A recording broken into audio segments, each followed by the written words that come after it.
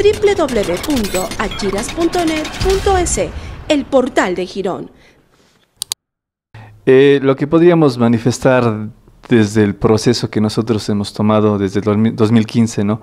en la cual se recolectó las firmas y todo, eh, desde agradeciendo a toda la ciudadanía por la confianza que dio, de igual manera la copia de la cédula, que fue bastante em, un apoyo grande ¿no? para que se pueda validar.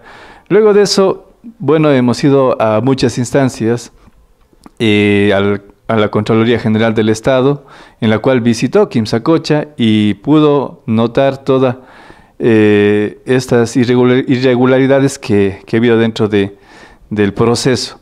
Luego eh, vino una misión internacional a nivel eh, mundial en la que también pudo dar su informe a nivel de las Organizaciones Unidas para que se respete todos estos derechos de la naturaleza.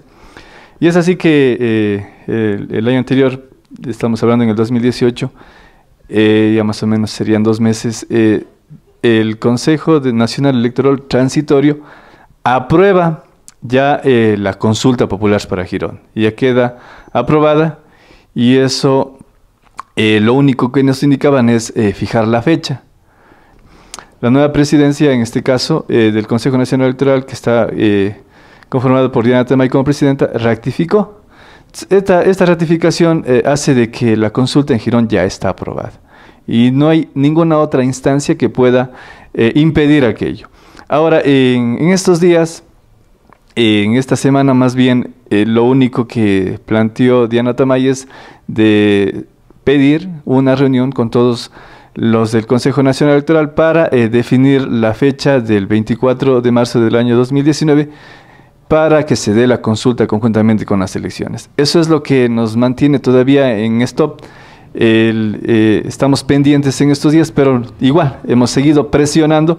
La semana anterior se envió un escrito dirigido a todos los del Consejo Nacional Electoral para que no se demoren en este proceso y exigiendo que se dé eh, la consulta lo más pronto posible, en este caso en las elecciones seccionales eh, de este 24 de marzo. Sí, justamente es ese pronunciamiento y ya se ha exigido por varias ocasiones eh, que sea el 24 eh, de marzo de 2019. Esto antes eh, teníamos una reunión en Santa Marianita y ahí se consultó a la ciudadanía, a todos quienes estuvieron presentes, una gran cantidad de personas de diferentes comunidades en las que se consultó. ¿Están de acuerdo ustedes de que se dé las consultas, en este caso en, elecciones que se vienen?